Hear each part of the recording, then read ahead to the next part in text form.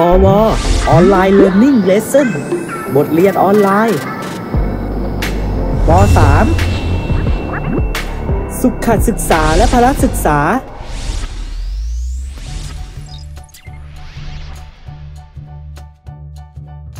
ลักษณะของฟัน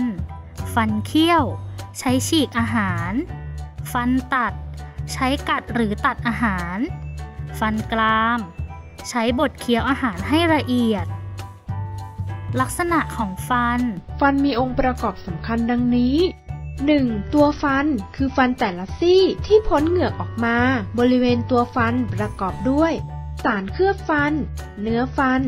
โพรงและเส้นประสาทฟัน 2. รากฟัน คือส่วนของฟันที่ฝังอยู่ใต้เหงือก ในส่วนของรากฟันจะมีเส้นเลือดและเส้นประสาทฝังอยู่ครับ ความสำคัญของฟัน ฟันเป็นอวัยวะที่ใช้ในการบดเคี้ยวอาหารให้ละเอียด หากไม่มีฟัน เราจะไม่สามารถบดและเคี้ยวอาหารได้ นอกจากนี้ ฟันยังช่วยให้ใบหน้าของเราสวยงาม และทำให้พูดออกเสียงได้ชัดเจน ชุดของฟัน ฟันของคนเรามี 2 ชุดดังนี้นะครับ 1. ฟันน้ำนม เป็นฟันชุดแรกของคนเรา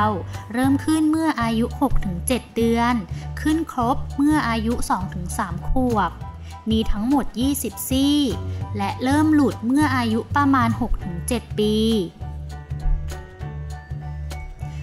2. ฟันแท้เป็นฟันชุดที่ 2 ของคนเรา เริ่มขึ้นเมื่ออายุประมาณ 6-7 ขวบ มีทั้งหมด 32 ซี่ และอยู่กับเราไปตลอดชีวิต ถ้าหลุดหรือหักไป จะไม่มีฟันขึ้นใหม่มาทดแทนได้นะครับ